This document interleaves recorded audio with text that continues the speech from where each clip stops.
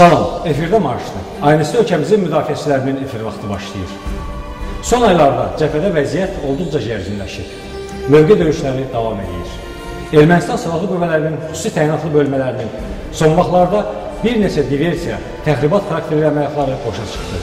Onlar ordumuzun mövqelərində döyüşçülərimizin güclü müqaviməti ilə rastlaşaraq çoxlu sayda itki verib geri çəkildilər. Son vaxtlar cəbhədə nə baş verir? Cəbhədə baş verənlər və son günlərin hadisələri haqqında danışacağıq. Silahlı qüvvələrimizin marşının əsas hədəfi işğalçı düşmənə qarşı mövqelənən döyüşçülərimizin ünvanı olan cəbhə xətti səngərlərdir. Biz qələbə səngərdən başlayır deyə 2012-ci ilin ötən 5 ay ərzində cəbhənin demək olar ki, bütün istiqamətlərində ordumuzun mövqelərində olmuş, döyüş postlarında dayanan zabit və əskərlərimizdən hal-əhval tutaraq cəbhədəki vəziyyəti ilintə almışıq. Saatlarla piyada yol getməli olsaq belə, ordumuzun ən ucqar mövqelərində olaraq vəziyyətlə, əməliyyat şəraiti ilə birbaşa bu mövqelərdə tanış olmuşuq.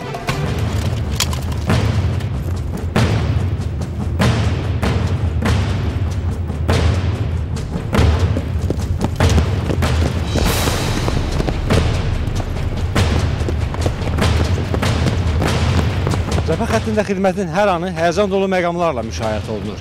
Bir qədər əvvəl düşmən tərəfdən canlanma müşahidə olunub və indi manqalın heyəti atəş mövqeyinə çıxaraq e, müşahidəni gücləndirəcək.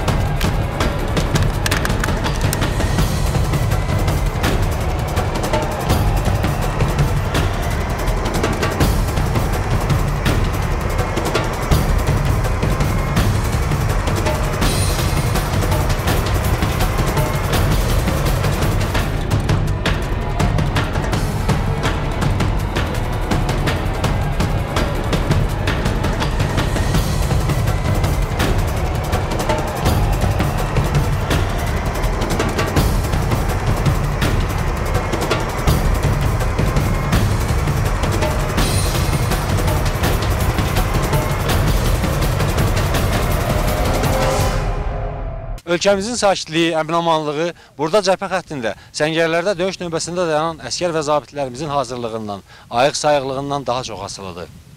İsti yay günlərinin başladığı, hamının daha çox qızmar günlərdə istirahət üçün yer axtardığı bir vaxtda bu oğullar burada qarlı dağlarda döyüş növbəçiliyi aparır, daim düşməni nəzarətdə saxlayırlar. Və bizim də burada müşahidələrimiz davam edir. Ön xəttdə, səngərlərdəki ardıcıl müşahidələrimizdən ümumi nəticəmiz budur ki, cəbhədə hələ ki heç nə dəyişməyib. Atəşkəs olsa da, atəşi kəsməyən işğalcı düşmən elə köhnə vərdişindədir. May ayı ərzində daha da fəallaşaraq diversiya, təxribat əməliyyatlarının sayını artıran Ermənistan ordusunun xüsusi təyinatlı qrupları ordumuzun mövqələrini ələ keçirmək, müdafiəni yarmaq cəhdləri etdi. Amma hər dəfə Azərbaycan ordusunun müdafiə mövqelərində ciddi müqavimətlə üzləşərək geri çəkildi.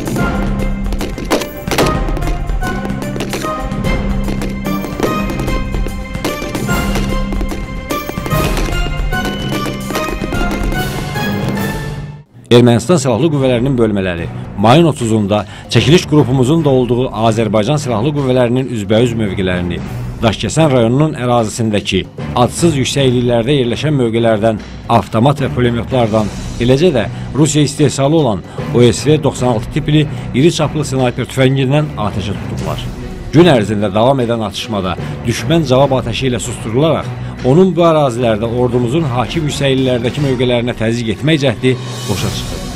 İyun ayının əvvəlindən başlayaraq cəbhə xəttinin müxtəlif istiqamətlərində diversiya törətməyə cəhd göstərən Ermənistan ordusu xeyli itki verdi. İşğalçı düşmənin cəbhənin demək olar ki, bütün istiqamətlərində, xüsusilə də ölkəmizin Ermənistanla dövlət sərhəddində, Tovuz, Qazax rayonları istiqamətində hərəkətə keçməsi, Ermənistan tərəfin bu planları gücünə arxalandığı məlum qüvvələrin himayəsi və göstərişi ilə həyata keçirdiyi açıq aydın görünürdü. Arxalı köpək qurd basar deyə ermənilər işğal etdikləri ərazilərimizdə mövqələndiklərini belə tamam unudublar deyəsən.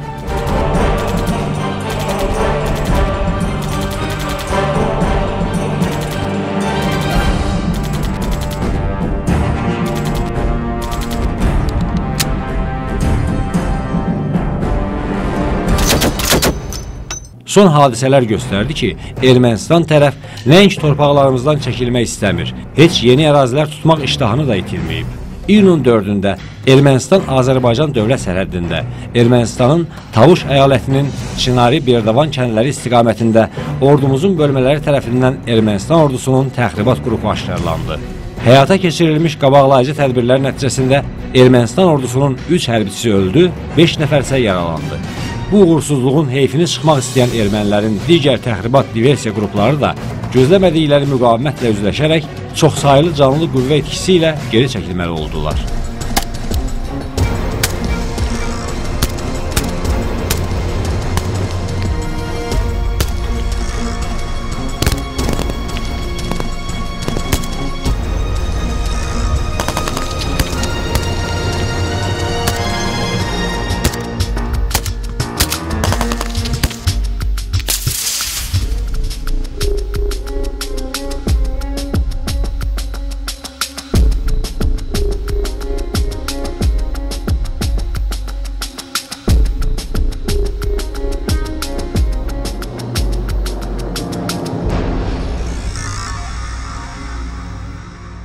Ermənistan prezidenti Serj Sarkisyan uğursuzluqlarını örtbasdır etməyə çalışaraq cəbhədə baş verən bu mövqe savaşları ilə bağlı Azərbaycanın ünvanına hədə dolu fikirlər səsləndirdi. Onun Ermənistan ordusundakı itkilərə görə qarşı tərəfə sərt cavab veriləcəyini bəyan etməsi, qorxu, istirab hissini büruzə verməsi, gülüc dezinformasiya cəhdi idi.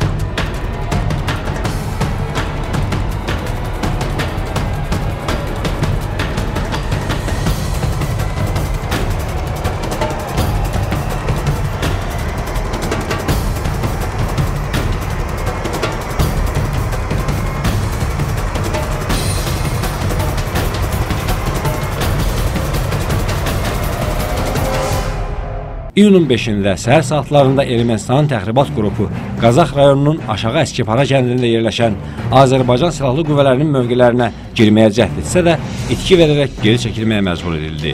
Döyüş zamanı Azərbaycan Silahlı Qüvvələrinin 4 hərbi qulluqçusu şəhid oldu. Ermənistan ordusunun itkilərinin daha da çoxaldığı ehtimal olunsa da, əks tərəf ciddi cəhdlə itkiləri haqda informasiyanı gizlətməyə çalışdı. İyunun ilk günlərindən başlayaraq hələ də qoşunların təmas xəttinin bütün istiqamətlərində vəziyyət gərgin olaraq qalır. Ermənistan ordusunun təxribat əməlləri və mövqe döyüşləri hələ də səngiməyib. Bütün cəbhə boyu ordumuzun qüvvələri yüksək hazırlıq vəziyyətinə gətirilibdir.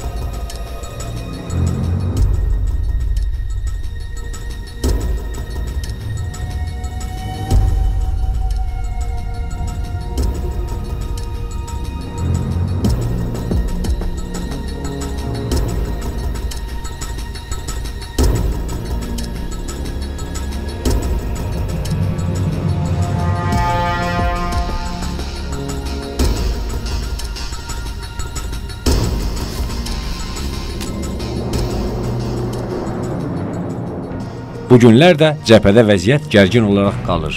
Cəbhədəki son hadisələr bir daha göstərdi ki, döyüşlər səngisə, atəşkəs olsa da müharibə hələ bitməyib. Bu gün düşmənin özbaşınalığı, tez-tez atəşkəsi pozması nəticəsində cəbhədəki indiki vəziyyəti xırda mövqe döyüşlərinin davam etməsi ilə mövqe müharibəsi kimi qiymətləndirmək olar. İndi bütün cəbhə boyu xidmətin təşkilində əsas diqqət elə yaxın məsafədə olan düşmənin hərəkətlərini diqqətlə izləməyə yönəlib. Hələlik ordumuz Ermənistan tərəfin aranı qızışdırmaq, müharibəni başlamaq cəhdlərini soyuqqanlıqla qarşılayır və cəbhə xəttinin yaxınlığında yerləşən yaşayış məntəqələrimizin təhlükəsizliyini, əhalinin dincliyini təmin etməyə çalışır.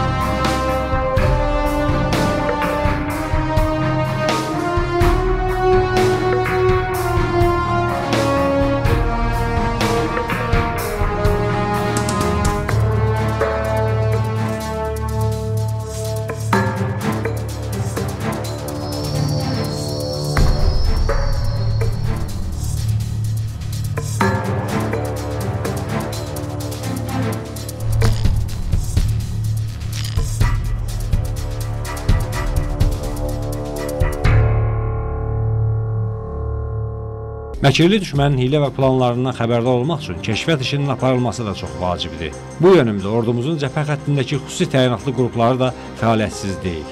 Bizim hazırlığını izlədiyimiz, lentə aldığımız kəşfiyyat bölmələri əslində görüntü üçün olmaqla bu peşəyə həvəs, maraq yaratmaq məqsədi daşısa belə, xüsusi təyinatlı qruplar bütün cəbhə boyu öz fəaliyyətlərini lazım gəldikdə düşmənin taktiki dərinliklərində aparılacaq əməliyyatların yüksək səviyyədə təşkil olunmasına yönəldiblər. Onlar yaxşı başa düşürlər ki, müxtəlif kəşfiyyat və diversiya xarakterli tapşırıqları dönə-dönə məşq etdikləri bu təlim meydanı istənilən anda döyüş meydanı ilə əvəz oluna bilər.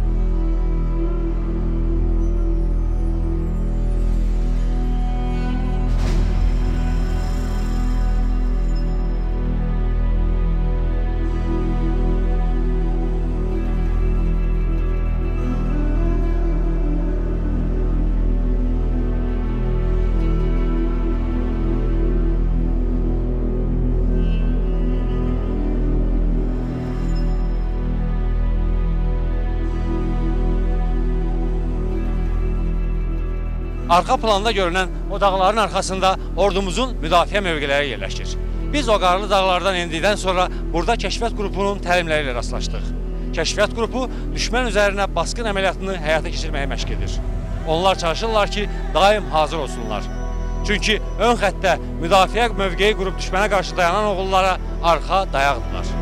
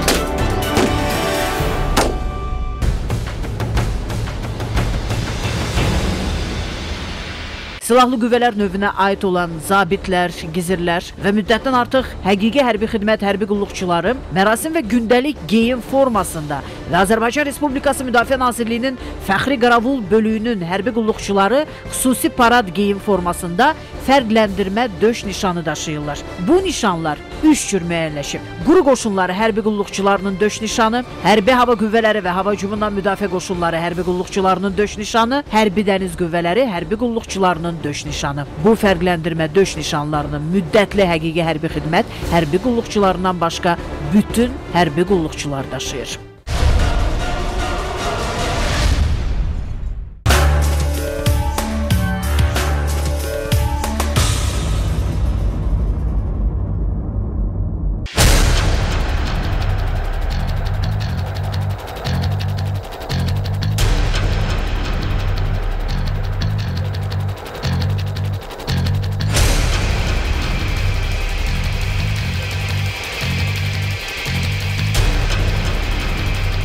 Rusiyanın müasir döyüş tankı olan T-90 Vladimir 1980-ci illərin sonu, 1990-cı illərin əvvəllərində T-72 B tankının təkmilləşdirilməsi ilə hazırlanıb.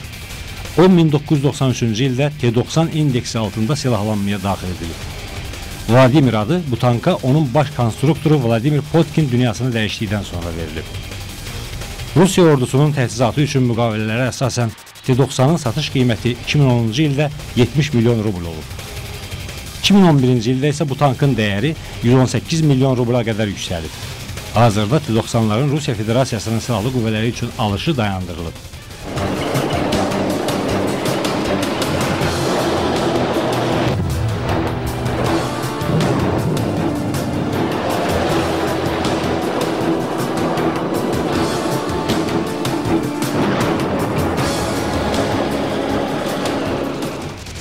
Kütləsi 46,5 ton olan T-90-ın heyəti 3 nəfərdən ibarətdir. Onun 950 mm qalınlığındakı zirehi poladdan çox qatlı kombinə edilmiş tökmə olmaqla mərmiyə davamlıdır. Davamlı zirehi və dinamik müdafiəsi olan T-90 aktiv müdafiə ilə də təchiz olunur. Aktiv müdafiə kompleksi tankı idarə olunan tank əleyhinə raketlərdən qoruyur. Aktiv və dinamik müdafiəsi olan bu tankın lülə hissəsi yivsiz 125 mm-lik 2A 46M5 topundan ibarətdir. Əsas silah sursat güllədə olmaqla güc və hərəkət sistemi arxada, heyət isə ayrı tank komandiri və tuşlayıcı döyüş hissəsində, sürücü mexanik idarəetmə bölməsində yerləşdirilib. Onun məsafə ölçən lazer nişanlama sistemi gecə və gündüz effektiv döyüş aparmaq imkanı verir.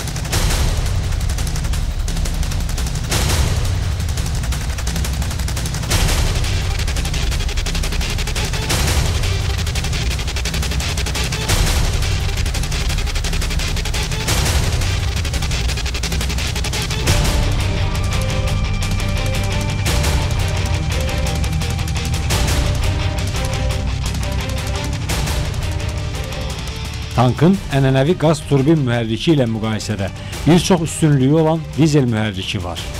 Mühərrikin gücü 1000 at gücünə bərabərdir.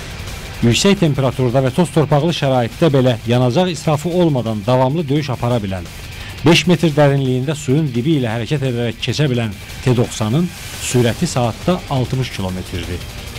2,8 metr dərinliyində xəndəyi dəf edərək 0,8 metr qalınlığında divarı dağıdıb keçən T-90-da yeni gecə görmə cihazının hesabına görmə məsafəsi əvvəlki tiplərlə müqayisədə 1500 metrdən 4000 metrə yüksəlib.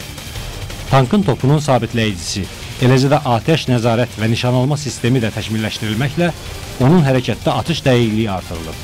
Ənənəvi artilleriya silahlarından başqa T-90-ın silahlanmasında tank əleyhinə idarə olunan raketlər də var. Raketlərlə atış və nişan alma lazer şüası ilə yarımavtomatik rejimdə həyata keçirilir. Tankın yardımçı silahlanmasına qoşa lüləli pulemyot, zenit pulemyot qurğusu daxildir. Daha çox Hindistana və Pakistana satılan T-90 tankı 2011-ci ildə Azərbaycan Müdafiə Nazirliyi ilə Rosabaron Eksport şirkəti arasında bağlanan müqaviləyə əsasən gələcəkdə ordumuzun arsenalına da daxil ediləcək.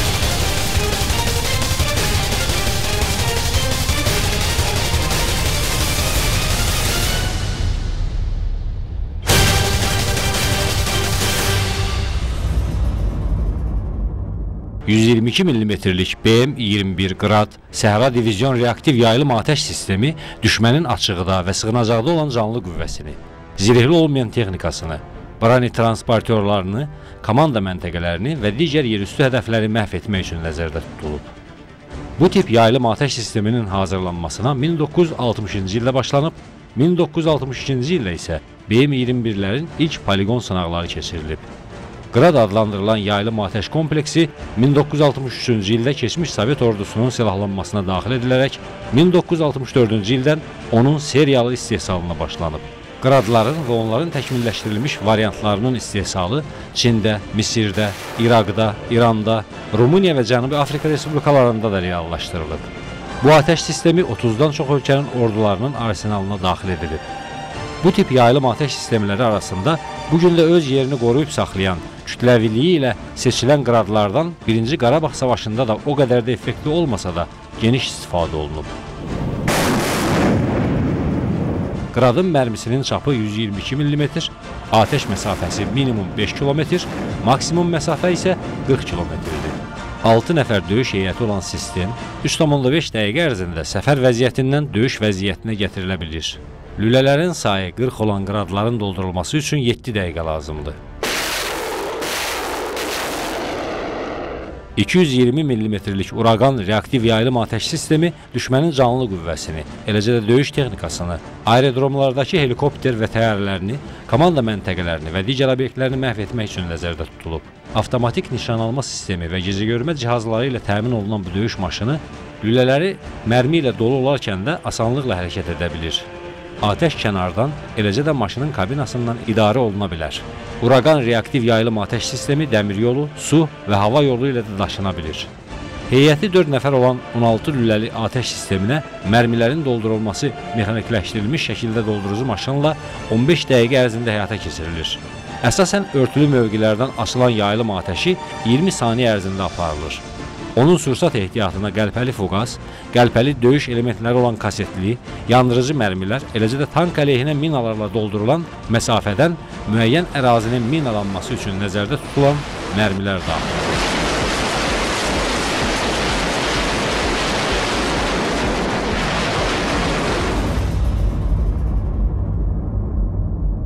İzvestiya qəzetinin 24 fevral tarixli sayında ölkənin Müdafiə Sənayesi Nazirliyinə istinadən Rusiya Müdafiə Nazirliyinin Toçka-U raket komplekslərini təmir etməkdən imtina etdiyi, bu raketlərin yeni İskəndər tipli komplekslərlə əvəz olunması işinin isə ləngidiyi yazılır. Qeyd olunur ki, Nazirlik bu raketlərin hədəfi təsbit edərək məhv edən avtomatlaşdırılmış idarəetmə sisteminin təmiri üçün müqavilələr bağlamaqdan imtina edib. Qəzetin hərbi mənbəyə əsaslanan məlumatında yazılır ki, 2011-ci ildə Rusiya ordusunun quru qoşunlarında 40-dan çox idarəetmə sistemi sıradan çıxan bu cür raket kompleksi olub. 1970-1980-ci illərdə hazırlanan, özü yeriyən Toçka taktiki raket kompleksinin təmiri 2004-cü ildən yalnız Tomsk cihazqayırma zavodu tərəfindən həyata keçirilir. Bir kompleksin idarəetmə sisteminin təmiri 15-17 milyon rubla başa gəlir. Xatırladaq ki, Toçka tipli raket kompleksi yerüstü hədəfləri məhv etmək üçündür. Onun atış məsafəsi 120 kilometrdir. Startda olan raketin çəkisi 2010 kiloqram, sürəti saniyədə 1000 metr, heyəti 4 nəfərdir.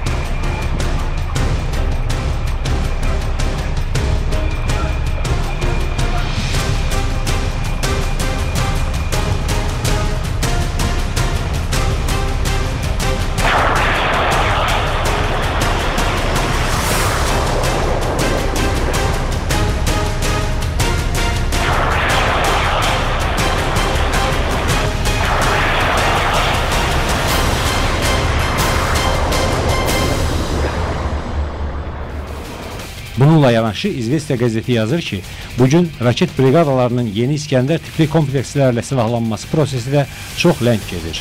İskəndər əməliyyat taktiki raket kompleksi başlığı dəyişməklə müxtəlif hədəfləri, düşmənin canlı qüvvəsini, cəbhənin dərinliyində olan komanda mərkəzlərini məhv etmək üçün nəzərdə tutulub. Zərurət olduqda İskəndər kompleksi nüvə döyüş başlığı da daşıya bilir. Atış məsafəsi 500 kilometr olan İskəndər-K raket kompleksi 2007-ci ildə uğurla sınaqdan çıxarıldıqdan sonra Rusiya ordusunun arsenalına daxil edilib. Bu raketlərin İskəndər E-kodu ilə ixracat versiyası da var. Onun atış məsafəsi 280 kilometrdir. İskəndərin start kütləsi 3800 kiloqram, döyüş başlığının çəkisi 480 kiloqram, uzunluğu 7,2 metr, diametri 920 mm, sürəti saniyədə 2100 metrdir. Bu raketin yerin səthinə 10 metr qalmış partlayan kaset başlığı, eləcə də qəlpəli fuqas və yandırıcı xüsusi nüvə başlığı da var. İskəndər raket kompleksinin istismar müddəti 10 ildir.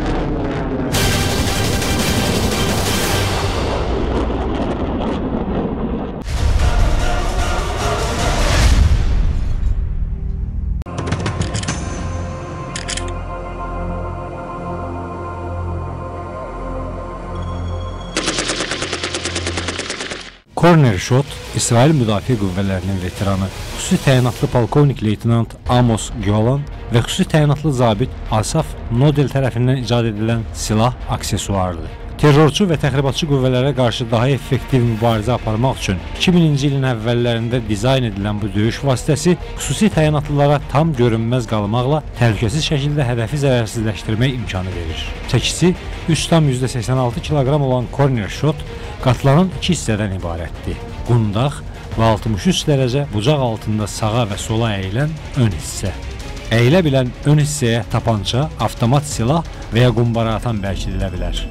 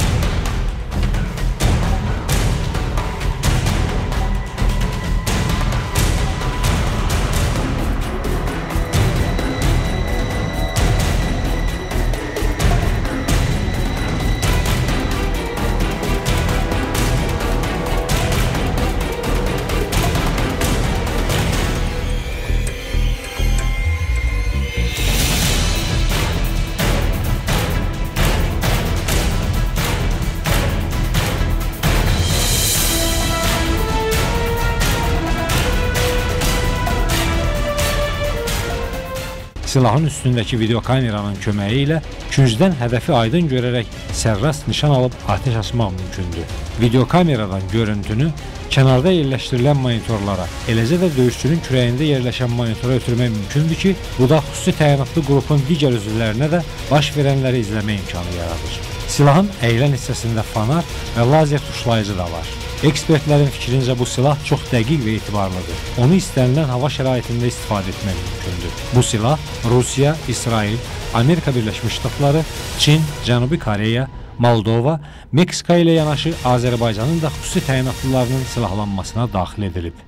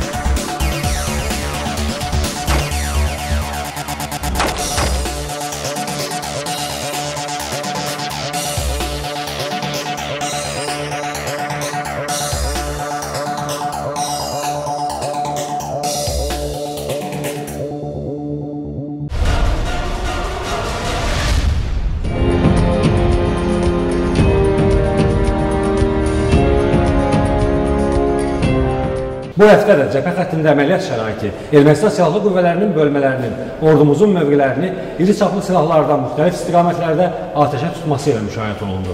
Erməni silahlı bölmələri iyunun 19-20-sində Ermənistanın Civan rayonunun Bərkaber, işğal olunmuş Ağdam rayonunun Yusifcanlı, Füzulinin Qorqan, Aşağı Veysəlli, Horadis, Aşağı Seyid Əhmədli, Qaraxanbəyli, Xocavəndin Kurapatkina, Goranboy rayonunun Tap Qaraqoyunlu kəndləri yaxınlığında və adsız yüksəkliklərdə yerləşən mövqelərindən atəşkəs rejimini pozublar.